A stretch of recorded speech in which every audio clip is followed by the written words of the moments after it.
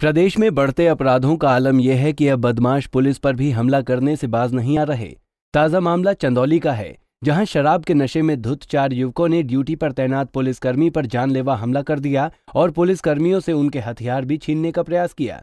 दरअसल मुगल सराय कोतवाली क्षेत्र के चकिया मोड़ तिराहे पर पुलिसकर्मियों को सूचना मिली थी कि कुछ युवक टेंपो स्टैंड पर लड़कियों से छेड़खानी कर रहे हैं। जिसके बाद ड्यूटी पर तैनात सिपाही मौके पर पहुँचे और आरोपियों को हिरासत में लेने की कोशिश की तो चारों युवकों ने दोनों पुलिसकर्मियों पर हमला कर दिया। चार लड़के जो शराब पिए हुए थे, लगभग तेईस चौबीस साल की उम्र के थे। ये शराब पी करके टेंपो स्टैंड के पास मुगल सराय थाना क्षेत्र में छेड़खानी कर रहे थे। इसकी जानकारी जैसे ही हुई तो वहाँ सौ मीटर की दूरी पे एक पुलिस पिकेट था, उसके दो सिपाही भाग पे पहुँचे।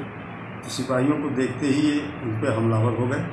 और एक ने डंडा छीन करके सिपाही के सर पर चोट पहुँचाई। तत्काल और फोर्स पहुँच गई मौके पे। चारों को गिरफ़्तार किया गया है और इनके विरुद्ध गंभीरतम धारा में अभियोग पंजीकृत किया गया है जेल भेजा वहीं सूचना मिलते ही मौके पर पहुँची पुलिस ने भीड़ की मदद से आरोपियों को पकड़ा। लेकिन इस घटना के बाद एक बार फिर पुलिस की कार्यशैली पर कई सवाल खड़े हो रहे हैं। पंजाब केसरी टीवी के लिए चंदौली से संतोष जायसवाल की रिपोर्ट।